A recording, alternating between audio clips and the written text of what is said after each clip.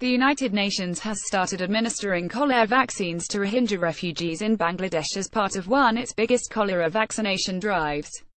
Thousands of Rohingya on Tuesday braved the heat at makeshift health centers to receive the oral vaccine. Diarrheal diseases can easily spread any time hundreds of thousands of people live in close proximity without proper sanitation, UNHCR spokeswoman Yante Ismail told DW. Our concern is that new arrivals may be susceptible to diarrheal diseases due to their weakened bodies and compromised immune system, as a result of the hardship they have encountered. More than 500,000 Rohingya have fled to Bangladesh in the past month to escape military and civilian reprisals in Myanmar that the United Nations has described as ethnic cleansing. Rohingya, a vast majority of whom are Muslims, have been denied citizenship rights. They are viewed by the local authorities as illegal immigrants from Bangladesh, although many have been living in the region for decades, if not centuries. Myanmar's Buddhist majority is often accused of subjecting them to discrimination and violence.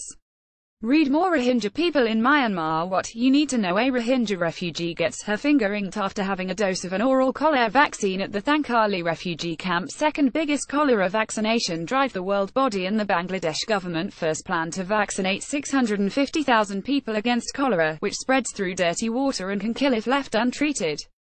A second round of vaccinations will start on October 31st.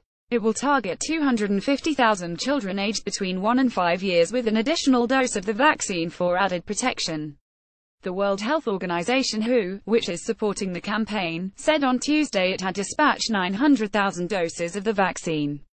The vaccines are being delivered by more than 200 mobile vaccination teams. It is the second biggest cholera vaccination drive that the UN has undertaken. About 800,000 people were immunized against the disease in Haiti in November. Amid fears of a cholera outbreak, the WHO said more than 10,000 diarrhea have been reported and treated in the past week. UNHCR health experts are concerned that given the living conditions of new arrivals, if not prevented early, acute diarrhea could spread quickly and result in high mortality rates, especially among children, the elderly, and those with compromised immune systems, Ismail said.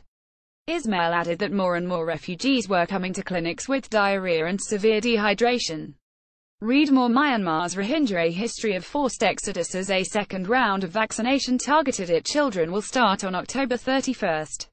No signs of violence after ceasefire expires A one-month ceasefire unilaterally enacted by the Arakan Rohingya Salvation Army ARSA-2 a four-day group's access to northwest Myanmar expired at midnight local time. On Tuesday, Myanmar officials announced they had seen no signs of new attacks in the hours after the ceasefire ended. Read more Myanmar's Rohingya rebels What you need to know The current exodus began after Myanmar security forces launched a counter-offensive in Rakhine state in western Myanmar in response to ARSA attacks on police posts on August 25. Myanmar says that more than 500 people, mostly insurgents, have been killed since hostilities began, although ARSA has stated its willingness to enter talks should the government be inclined to peace. Authorities in Myanmar have said, we have no policy to negotiate with terrorists.